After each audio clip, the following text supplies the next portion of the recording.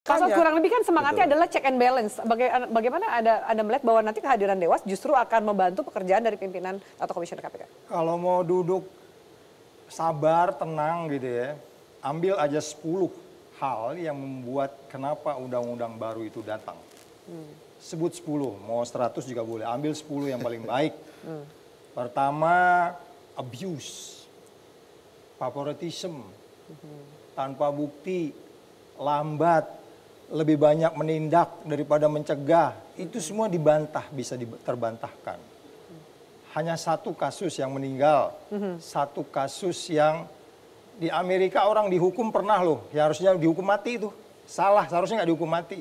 Apakah dengan kemudian itu kita bakar semua undang-undang kita enggak? Jadi makanya hmm. saya bilang kita duduk baik-baik. Persoalannya bukan KPK tidak boleh di check and balance How the way you check and balance them all itu yang penting. Is this the right way to do the check and balance dengan adanya kehadiran dewan pengawas? It's, it's, I think it's uh, we we lost a lot of resource.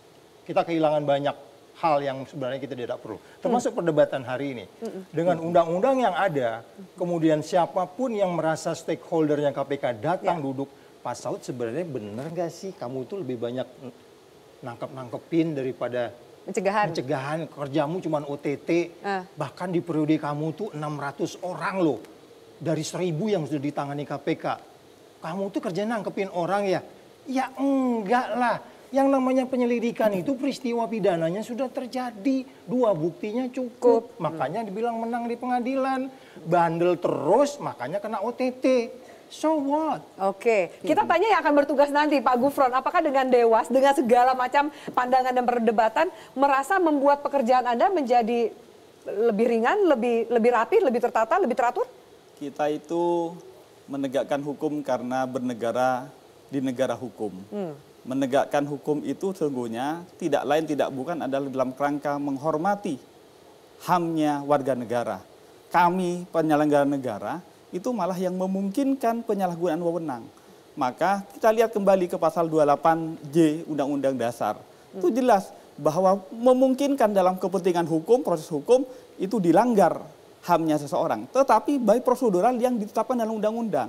Itu yang melandasi putusan MK nomor 5 2010 maupun 6 2003 bahwa penyadapan itu memungkinkan sebagai bagian dari uh, apa pelanggaran HAM seseorang tetapi harus diatur dalam undang-undang. Maka kemudian undang-undang ini 19 itu mengatur untuk itu. Hmm. Kita bernegara itu bukan karena hanya hanya demi kerangka efektivitas efisiensi yang tidak kemudian tidak ada koridor ya, hukumnya. Saya, saya yakin nanti kalau Mas Gufron udah di dalam beda. Eh, eh gini ya Ini ternyata. Ini pertama gitu. Undang-undangnya nah, balikin dong, pasti dia bilang gitu ntar. Masih bulan madu.